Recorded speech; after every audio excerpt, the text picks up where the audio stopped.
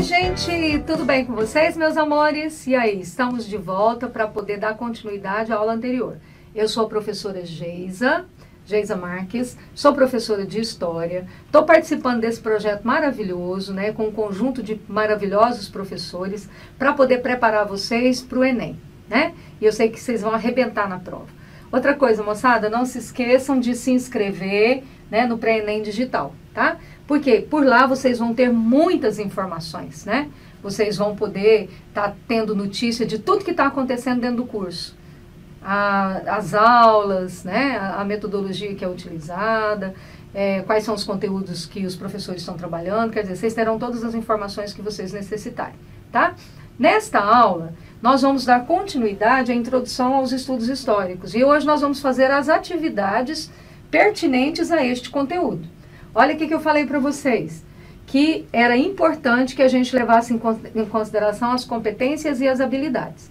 Aqui nós temos competência 1 e competência 4. E são várias as habilidades cobradas né, dentro desses exercícios. Tudo bem? Então vamos lá. Vamos lá para o primeiro exercício. Olha aqui, as vamos, vamos lembrar aqui né, as competências e as habilidades. A competência número 1, olha só. Habilidade 2, 3, 4 e 5 fazem parte da competência 1. Analisar a produção da memória pelas sociedades humanas. Né? Porque isso é extremamente importante dentro do conteúdo que nós acabamos de analisar. Né? Que nós falamos do termo história, por que isso dá história, por que isso dá o passado, qual é a importância disso. Né? Comparar os pontos de vista expressos em diferentes fontes sobre um determinado aspecto da cultura. Eu falei para vocês o que é cultura na aula anterior, né? expliquei o que é patrimônio histórico e qual que é a visão que se tem sobre cada uma, porque a cultura ela é própria né, do lugar, da região. Né? Então, quando a gente pega um determinado texto, a gente tem que, que é, dar, é, estar bem preparado para poder entender o ponto de vista da pessoa que escreveu o texto. Né? O que, que ele está te pedindo? Né? Qual que é a intenção dele com aquele texto? Demonstrar o que dentro daquele aspecto cultural, dentro daquele patrimônio histórico? Qual que é o objetivo dele com aquilo? Né? Ele quer levar você a conhecer o quê? Tá? E quer que você demonstre que tipo de conhecimento em relação àquilo. Tá bom? É, identificar as manifestações ou representações da diversidade do patrimônio cultural e artístico em diferentes sociedades. Então, isso é muito comum no Enem, né? Esse tipo de questão são muito comuns. Ele vai e demonstra né, vários tipos de, de objetos, né? Ou então, patrimônio material. Ele demonstra lá, por exemplo, a foto de uma igreja, é, de um túmulo, ou de uma pirâmide, né? E aí depois ele vem e demonstra lá é, algumas pessoas dançando em algumas regiões do Brasil, né? ou então a culinária de algumas regiões específicas do Brasil, aí ele pede para você identificar o que, que é patrimônio cultural, material, o que, que é patrimônio cultural imaterial. Aí isso é muito comum nos exercícios, né? É, daqui a pouco a gente vai ver. Identificar registros sobre o papel das técnicas e tecnologia na organização do trabalho e da vida social. Isso também vem dentro para a gente analisar o papel do historiador, né? Qual que é a função dele? Então, o historiador, ele não tem como ser totalmente imparcial em nada aquilo que ele faz, que ele escreve. Por quê? Porque ele é um ser social. Né? E à medida que ele está escrevendo, ele está produzindo conhecimento, ele está produzindo cultura. Mas ele tem que identificar o objetivo dele com o pensamento dele. Isso é necessário. Né? Que ele faça, por quê? Porque ele está usando um método científico. Né? Ele está ele tá baseando o estudo dele em coisas que aconteceram. Então não dá para ele inventar. Tudo tem que ser através da ciência. Tá bom? Então vamos pegar o nosso primeira atividade aqui. Então, olha só, gente, primeira atividade nossa. Olha só. Eu peguei uma questão lá do Enem de 2013. Talvez as outras questões não venham datando o Enem, mas todas as questões são do Enem, tá? Porque às vezes é, não vinha a data do Enem, ou às vezes vinha com a data imprecisa e eu preferi não colocar, tá? Mas todas as atividades são do Enem. Enem 2013, 2017, 2019, 2009, 2008, né? Vai indo tá? De todos os Enems, a gente pega todas as questões que estão relacionadas aos conteúdos que a gente está trabalhando aqui e coloca na tela, tá? Então, olha essa questão aqui. Própria dos festejos juninos, a quadrilha nasceu como dança aristocrática, oriunda dos salões franceses, depois difundida por toda a Europa. No Brasil foi introduzida como dança de salão e, por sua vez, apropriada e adaptada pelo gosto popular. Para sua ocorrência, é importante a presença de um mestre marcante ou marcador, pois é quem determina as, as figurações diversas que os dançadores desenvolvem. Observa-se a constância das seguintes marcações, né? Isso aqui em francês eu não vou ler porque meu francês é maravilhoso, aí vocês vão se apaixonar pelo meu francês. O que, que significa tudo isso aqui? Significa cestinha de flor, balancê, caminho da roça, olha a chuva, né, garachê, passeio da coroa das flores, né, coroa de espinho, caminho da roça. Vocês já dançaram quadrilha, vocês sabem quais são as marcações, né? Então o cara fica lá falando todo o tempo, né? Caminho da roça, é, olha a cobra, olha não sei o que, aí você volta, não é isso? São as marcações da quadrilha. Aí ele pergunta assim, ó, no Rio de Janeiro, em contexto urbano, apresenta transformações. Surgem novas figurações, o francês aportuguesado inexiste. O uso de gravações substitui a música ao vivo, além do aspecto de competição que sustenta os, os festivais de quadrilha, promovidos por órgãos de turismo.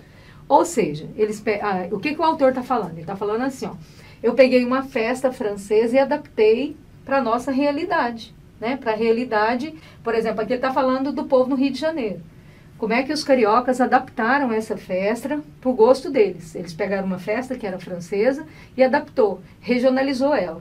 E vocês sabem que a quadrilha no Brasil é diferente. No Rio de Janeiro ela tem um formato, é, lá na, no, no, Nordeste ela tem outra, aqui no Mato Grosso ela tem outra, né? Sempre com as marcações, mas é, muitas vezes, né, a forma como você apresenta a festa e as marcações são, elas variam de região para região.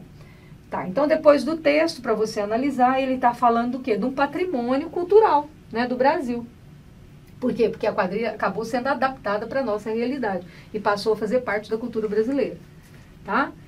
Bom, então, as diversas formas de dança são demonstrações da diversidade cultural do nosso país, entre elas a quadrilha. É considerada uma dança folclórica por quê?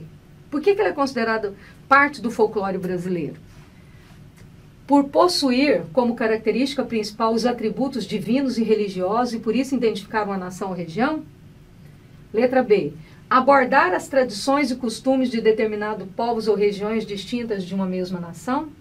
Apresentar cunho artístico e técnicas apuradas, sendo também considerada dança-espetáculo? Necessitar de vestuário específico para sua prática, o qual define seu país de origem? acontecer em salões e festas e ser influenciada por diversos gêneros musicais? Qual seria a resposta adequada em cima do que foi explicado aqui? Qual que é a letra que vocês marcariam?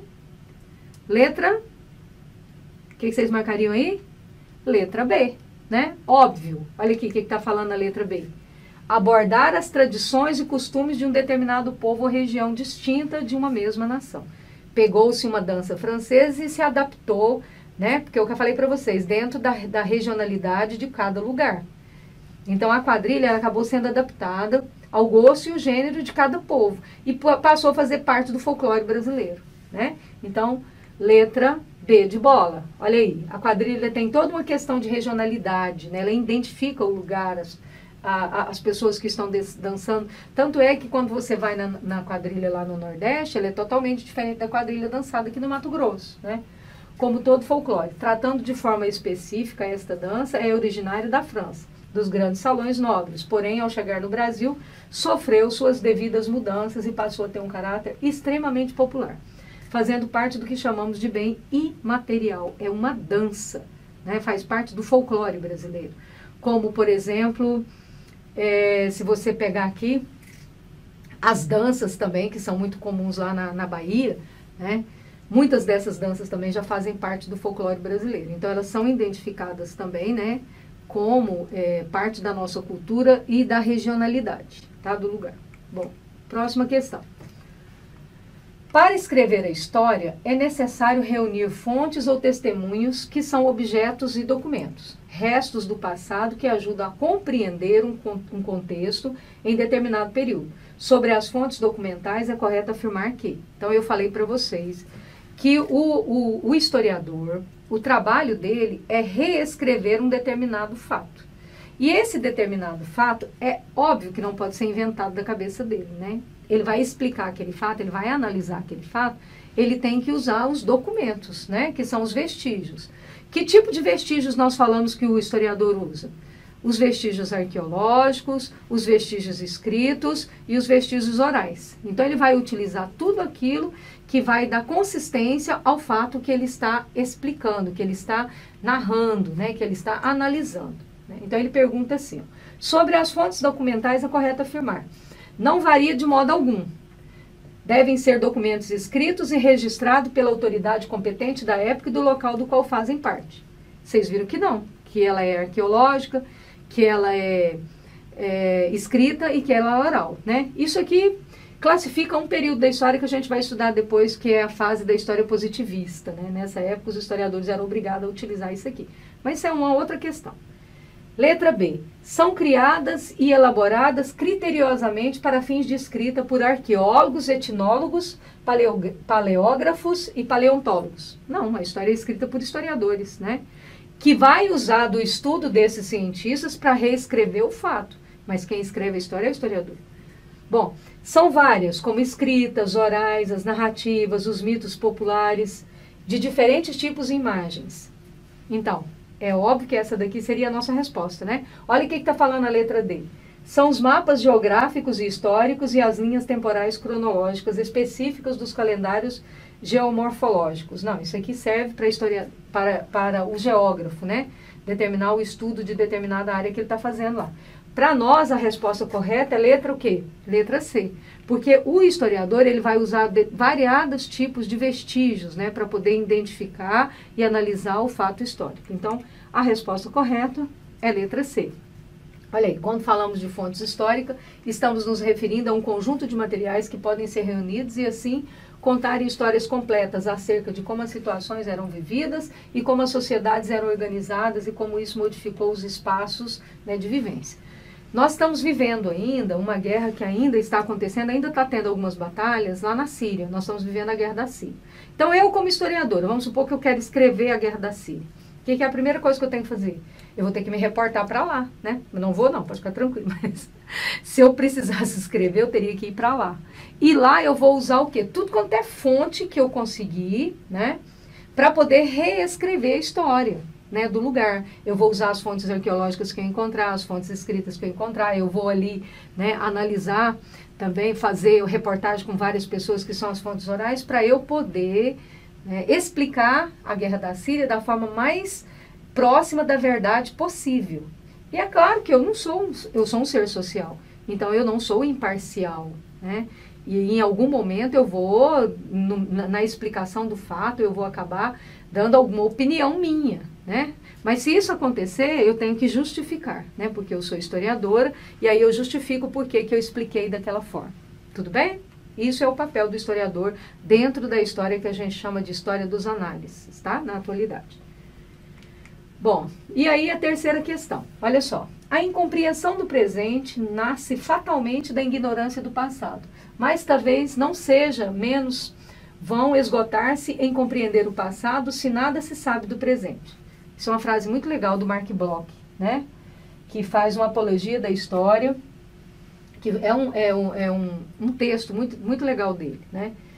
Aí ele fala assim, olha, assinale a alternativa que contém a definição de história mais coerente com a citação do historiador. Qual que foi aquele conceito que a gente trabalhou lá no início, né? O que, que é história, né? Qual que é o objetivo da história? Como é que a gente conceitua a, a história como ciência hoje em dia?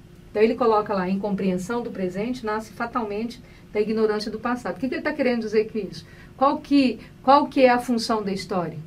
É estudar o passado para quê?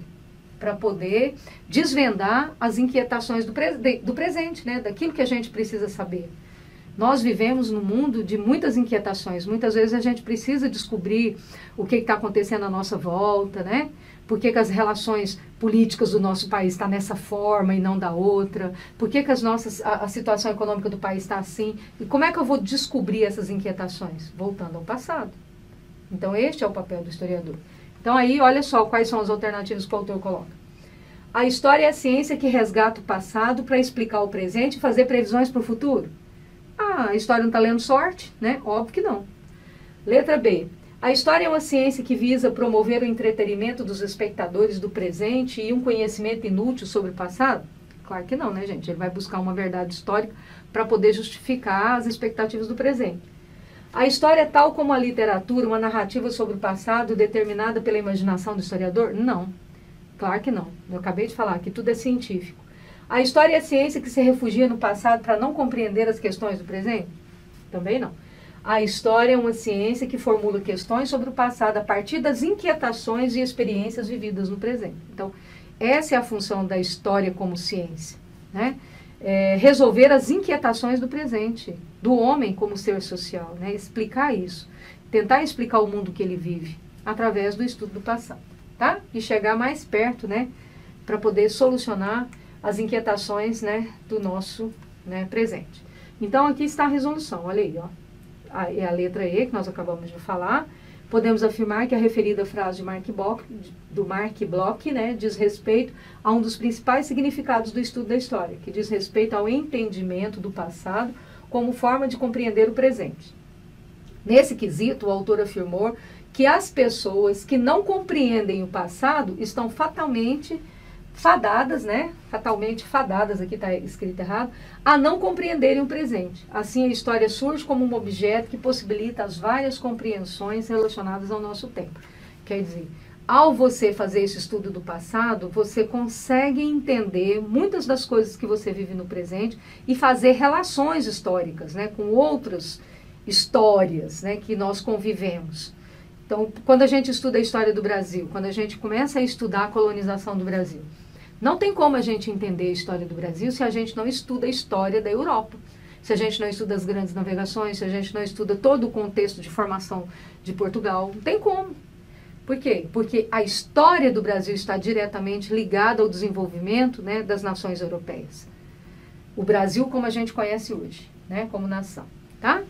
Então, pessoal, ficamos aqui. Espero que vocês tenham tido, né, a compreensão necessária do conteúdo, tá? É, se esforcem, leiam um pouquinho a respeito deste conteúdo, né, que é a introdução aos estudos históricos, que é um dos assuntos cobrados né, no Enem. E aí eu encontro com vocês na próxima aula. Tudo bem, meus amores? Fiquem em casa, usem máscara, se cuidem, tá bom? Beijinho para vocês.